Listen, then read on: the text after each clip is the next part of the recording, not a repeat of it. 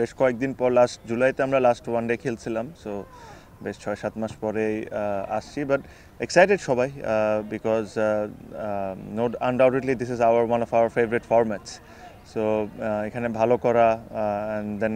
আর এই বছরটা যদি আপনারা দেখেন, এই বছরটা আমাদের বেশ কয়েকটা ওয়ান ডে আছে, যেটা লাস্ট ইয়ার ছিল না because of maybe T twenty World Cup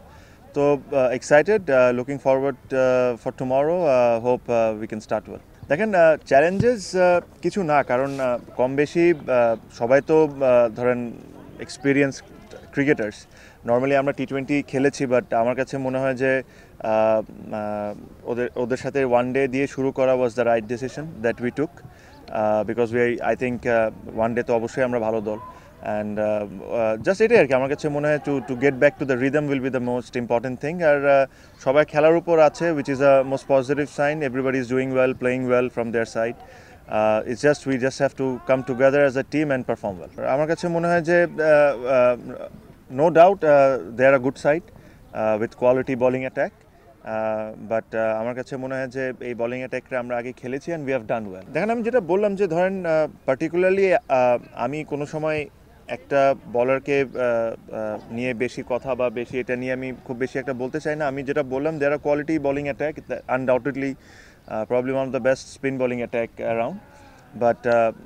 the all this এদের সাথেই কিন্তু আমরা আগে খেলেছি and we have done well we have done really well against them specially ODI ফরম্যাটে আমরা কি প্ল্যানে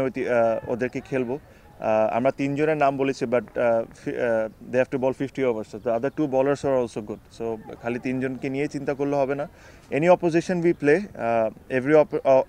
every team has good quality bowlers international ক্রিকেটে you hardly find easy bowling options আমরা জানি যে আমাদের ডেঞ্জার জোন কী কী হতে পারে, আমরা কোন কোন জায়গায় কীভাবে করে প্ল্যান করব দিস ইজ এটা নিয়েই আমরা লাস্ট এক দুদিন ধরেই কথা বলছি যে how to approach the game সত্যি কথা বলতে আমি এখানে বসে আপনাকে যতই কিছু বলে দিই না কেন if we don't do it in the ground it's nothing going to work. Uh, with Russell and Jamie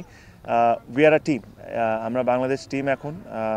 Russell is part of Bangladesh team is the head coach Jamie Siddons is also part of Bangladesh team is the batting coach যারাই এই set আছে it's they call Bangladesh cricket team sports আপনার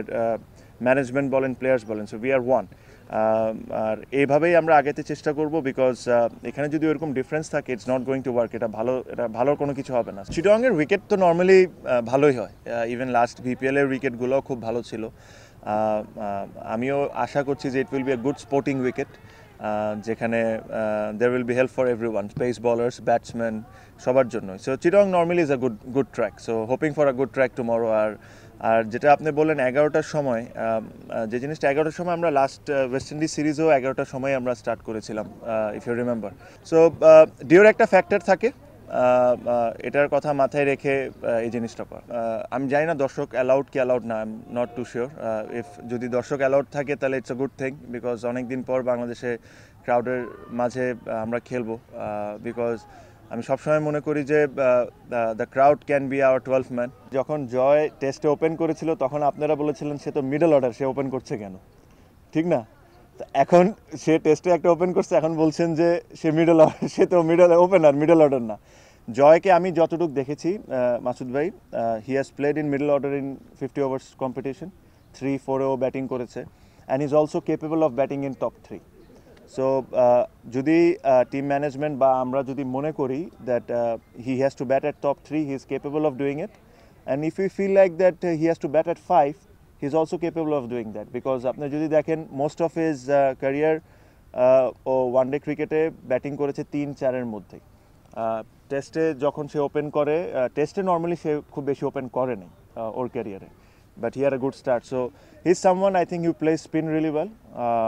এই জিনিসটা মাথায় রেখে তাকে আমরা সিলেক্ট করেছি বিকজ আই থিঙ্ক ইয়াং প্লেয়ারদের মধ্যে he someone that he plays spin really well same goes for Rabbi Rabbi has been performer for last couple of years domestic বলেন whenever he has got opportunity has done well so it it will depend that who will bat at number five so এই দুজন থেকে যদি কেউ খেলে they'll he'll bat at number five এতটুকু আমি বলতে পারি।